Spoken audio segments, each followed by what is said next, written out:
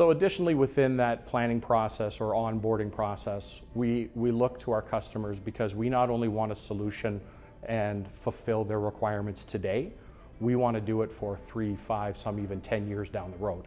So within InfoLease, there is a lot of functionality that is in the system. You might use half of it today, but you're looking to expand your business offerings, you're looking to expand from a technology perspective, and three to five years down the road, we like to try and solution out what you're going to need so that we're aware of it and we're ready to, to work and move forward with you.